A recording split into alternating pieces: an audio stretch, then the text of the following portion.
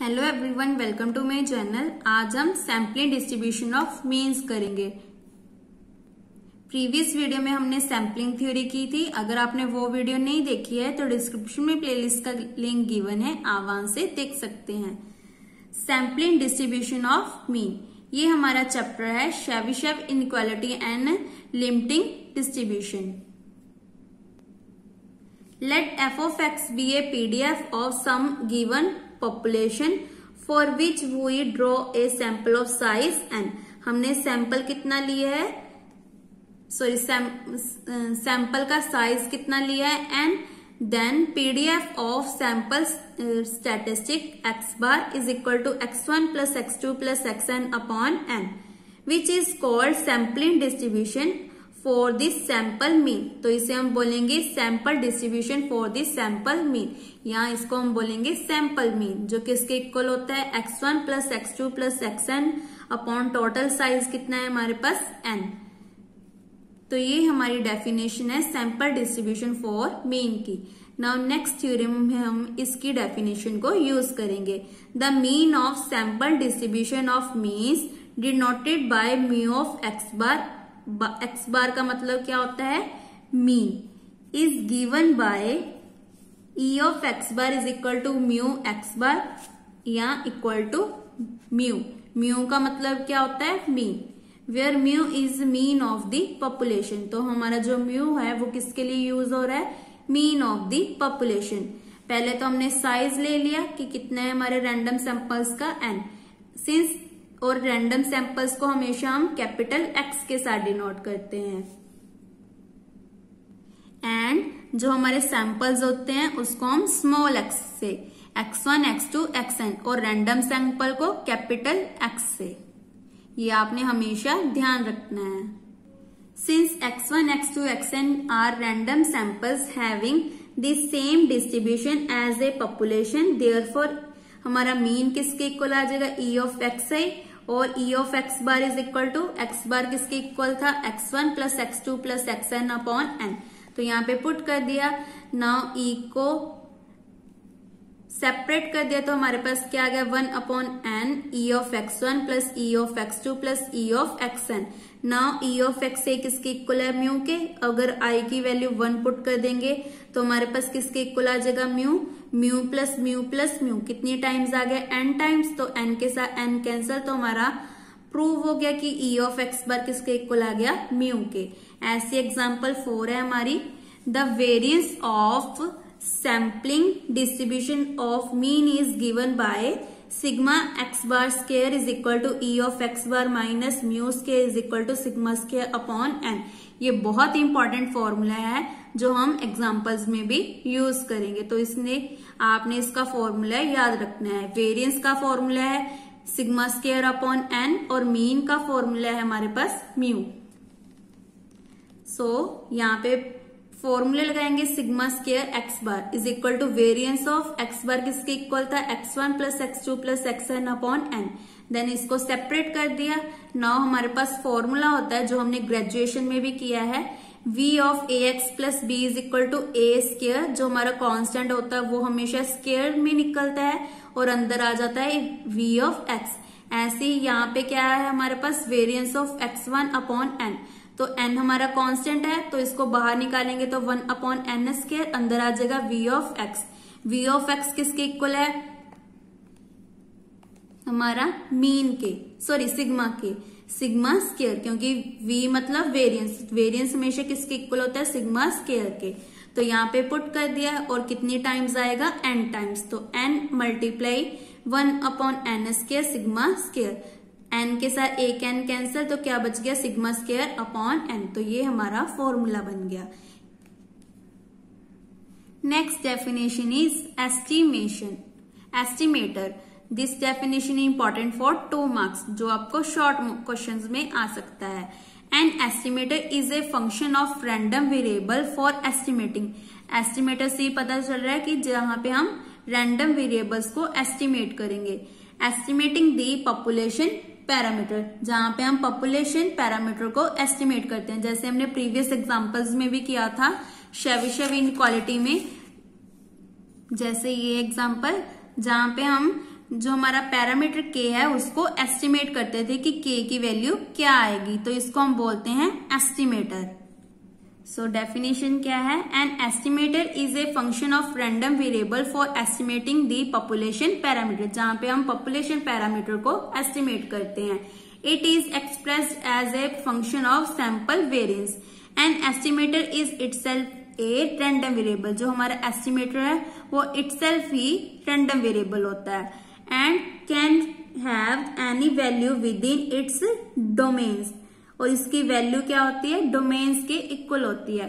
For example the estimator for mean is summation i is equal to one to n x i upon n where whenever the expected value of statistic is equal to इसकी जो expected value है ई of x वो किसके equal होगी? The corresponding population parameter जो corresponding population parameter के equal होगी. That means के के इक्वल होगी. के को हम क्या बोलते हैं? Population parameter is called unbiased estimator तो इसे हम बोलेंगे अनबाइस एस्टिमेटर फॉर एग्ज़ाम्पल जो एक्स बार वो किसके लिए यूज़ करते हैं हम? अनबाइस्ड एस्टिमेटर फॉर म्यू इसका मतलब क्या है कि हमने जो sampling distribution for mean mean में हमने एक्स बार लिया था, वो क्या है? हमारा अनबाइज एस्टिमेटर है, जो किसके इक्वल होता है? X one plus x two plus so on x n upon n now next is sample variance पहले हमने क्या किया था? सैंपल मीन्स अब हम कर रहे हैं sample variance if x one x two x n denotes this sample variance for a random sample जिसका साइज़ के लिए है n then the random variable giving the variance of the sample और this sample variance is defined as sample variance को किसके साथ defined किया है हमने? एस एस स्केयर के is equal to one upon n summation i is equal to one to n x i minus x bar का whole square ये बहुत इंपॉर्टेंट डेफिनेशन है जो हम नेक्स्ट थ्योरम में भी यूज़ करेंगे। सो हमने प्रूव करना है कि ई ऑफ़ एस के is equal to n minus one upon n sigma square ये बहुत इंपॉर्टेंट थ्योरम है जो आपको एट मार्क्स में आएगी। आपको आएगी what is the definition of knee state sample variance and prove that E of s s के equal to n minus one upon n sigma के तो पहले आपने डेफिनेशन लिखनी है देन इसको प्रूव करना है। हमारे पास जो एस एस केयर है वो किसके इक्वल है? One upon n summation i is equal to one to n x i minus x bar का होल स्केयर तो हमने जो एस एस है, उसमें ये वाली टर्म को कंसिडर कर लिया। We have E of summation i is equal to one to n x i minus x bar का होल स्केयर इसकी वैल्यू फाइंड करेंगे देन यहाँ पे हम पुट कर देंगे. सो ए माइनस बी का होल स्केयर किसके इक्वल होता है? A square minus two a b plus b square where a is x i b is x bar then इसको सेपरेट कर दिया समेशन को। तो हमारे पास क्या आ गया? Summation i is equal to one to n x i square minus two x bar summation i is equal to one to n x i plus यहाँ पे ये टर्म कांस्टेंट है क्योंकि यहाँ पे आई गिवन नहीं है। तो ये summation i is equal to one to n किसके इक्वल आ जाएगा? एन के। और x bar square as it is next step में हमने क्या किया? यहाँ पे हमारे पास फॉर्मूला लग गया. X bar is equal to mean का फॉर्मूला क्या होता है? Summation x i upon n तो यहाँ पे हमने समेशन एक्स आई की वैल्यू निकाल दी तो क्या आ जाएगी? एन मल्टीप्लाई एक्स बार यहाँ पे पुट कर दिया. तो हमारे पास आ गया two n x bar square minus two n plus n is minus n तो यहाँ पे पुट कर दिया.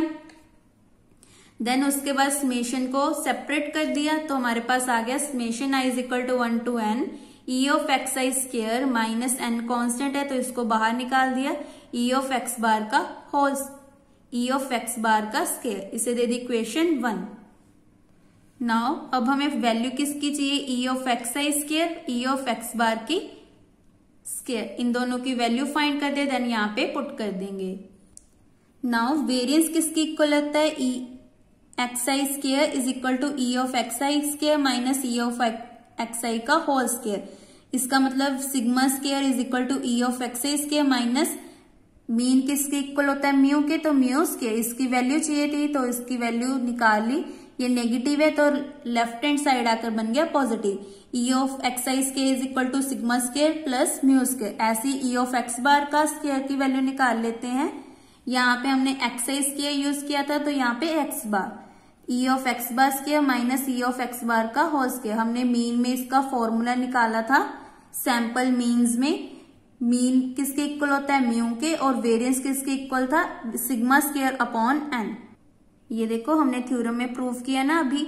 E of x i square that means mean किसके इक्वल होता है? म्यू के और वेरिएंस किसके इक्वल होता है? सिग्मा स्केयर अपॉन एन के। सो so, यहाँ पे हमने वैल्यूज़ पुट कर दी। Now E of x square x bar square की वैल्यू फाइंड करने के लिए इसको राइट हैंड साइड रखा माइनस म्यू स्केयर है तो लेफ़्ट हैंड साइड आकर बन गया प्लस म्यू स्केयर दोनों की वैल्यू इक्वेशन वन में पुट कर दी तो हमारे पास क्या आ गया? E of summation i is equal to one to n x i minus mu square is equal to summation i is equal to one to n इसकी वैल्यू क्या आई है? Sigma square plus mu square minus n इसकी value यहाँ पे put कर दी then now ये हमारा कॉन्स्टेंट है। Summation i is equal to one to n that means n तक वेरी कर रहा है तो यहाँ पे आ गया n sigma square plus n mu square क्योंकि इसको एन टाइम्स लिखेंगे तो हमारा n sigma square plus mu square आ जाएगा. देन इसके साथ ये कैंसिल तो हमारे पास बन गया एन माइनस वन और सिग्मा स्केयर कॉमन आ गया. नाउ वैल्यू किसकी फाइंड करनी है हमने? E of S S care की। तो एस एस केयर किसके इक्वल है? One upon n summation i is equal to one to n x i minus x bar square हमने इसकी वैल्यू फाइंड कर ली तो यहाँ पे पुट कर देंगे। और वन अपॉन एन कॉन्स्टेंट है तो इसको बाहर निकाल दिया। E of summation i is equal to one to n x i minus x bar का स्केयर तो यहाँ पे इसकी वैल्यू पुट कर दी। तो हमारे पास प्रूव हो गया n minus one upon n sigma square that means E of n upon n minus one S S के इक्वल टू सिग्मा स्केयर क्योंकि यहाँ पे क्या है? N minus one upon n then इसकी क्रॉस मल्टीप्लाई करेंगे तो n upon n minus one S S square और राइट हैंड साइड बच गया सिग्मा स्केयर नाउ इसका रिमार्क क्या है? Since E of S S square not equal to sigma square therefore S square is not unbiased estimator for sigma square unbiased estimator का मतलब क्या था? जो हमने डेफिनेशन में भी किया है the expected value of statistic is equal to the population parameter is called unbiased estimator जो हमारी एक्सपेक्टेड वैल्यू आएगी, वो अगर इक्वल टू होगी कोरस्पॉन्डिंग पैरामीटर के दैट मीन्स के की इक्वल होगी तो उसे हम बोलेंगे unbiased estimator because of this some statistical choice S cap square is equal to n upon n minus one, S S के इज़ इक्वल टू, यहाँ पे वैल्यू पुट कर दी एस एस के की upon n minus one, as the sample variance rather than S S square so ये most important theorem है जो आपको एट मार्क्स में आ सकती है। अगर आपको किसी भी पार्ट में डाउट हो, या किसी भी स्टेप में डाउट हो तो आप मुझे कमेंट करके पूछ सकते हैं। Thank you